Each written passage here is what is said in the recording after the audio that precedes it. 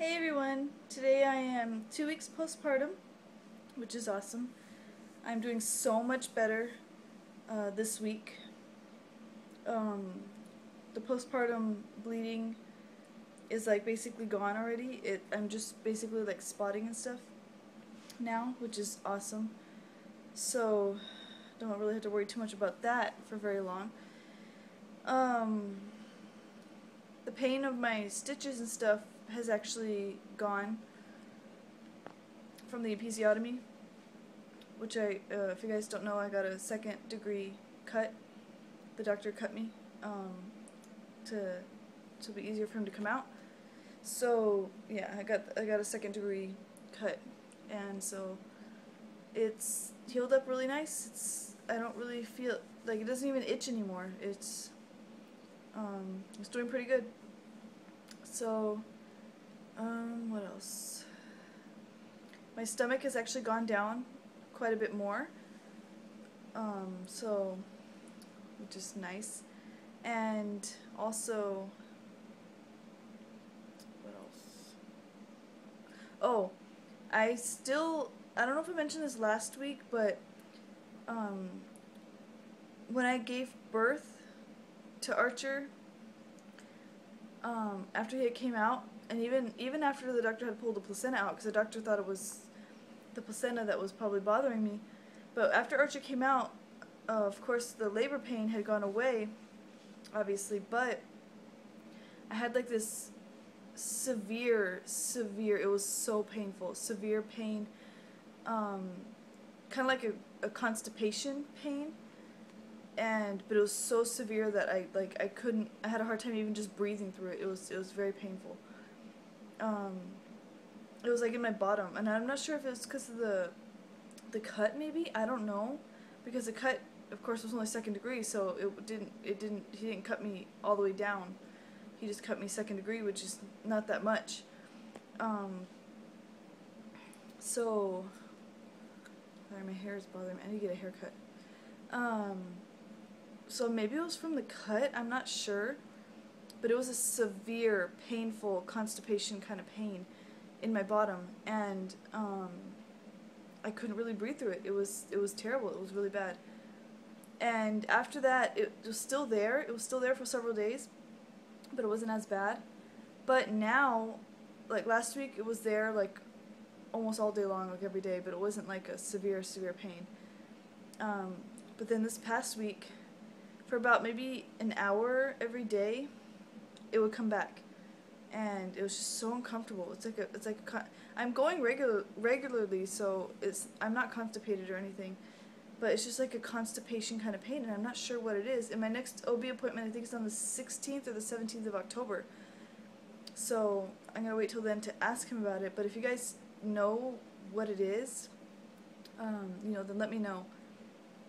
Or if you have the same thing, let me know. And if you talk to your doctor about it, you know, stuff like that. So. Um, yeah, I had that and it was just very uncomfortable. It's like I need to go and of course I don't need to go. It's like a feeling that I need to go and it's like a severe constipation feeling and it is so painful and it's very uncomfortable.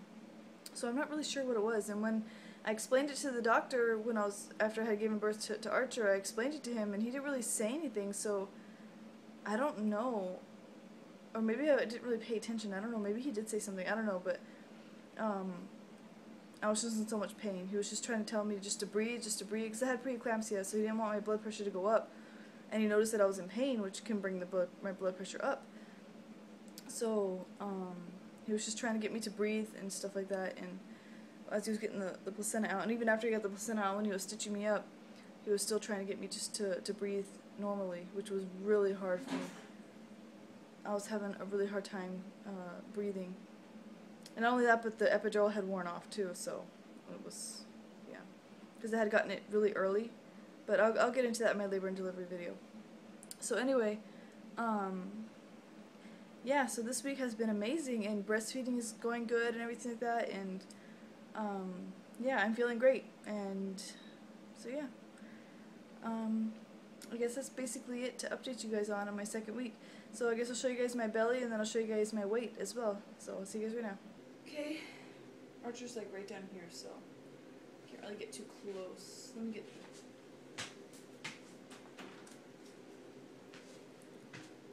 Okay, sorry about that. I had to get the measuring tape. So yeah, this is my two-week postpartum belly. On the side. And from the other side. And with the shirt up, which I have this belly band thing. So I need to get some coconut oil. I'm putting, I've been putting the coconut butter on, but I want to get some coconut oil because I heard that the coconut oil is better. So yeah, this is from the side, from the front, from the other side, and the stretch marks that I got were right around my belly button. This is the only stretch marks I got on my belly. I have a couple on my on my boobs, but yeah. So you guys can see. I have stretch marks up here and then here. You guys probably can't really see. I don't know. So anyway, let me measure my belly.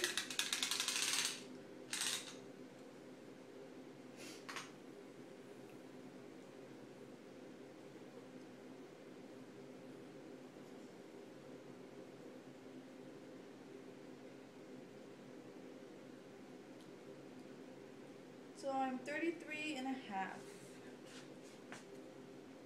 So it's going down.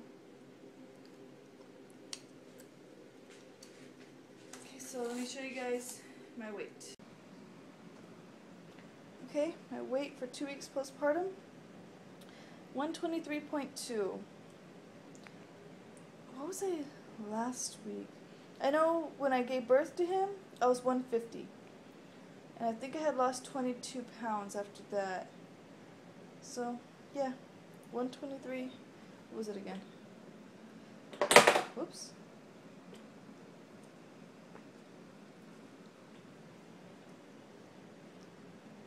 Oh, 122.0. Hold on, let me see. Because I know the edges aren't supposed to be on the cracks. Oh. Unless that's my correct weight.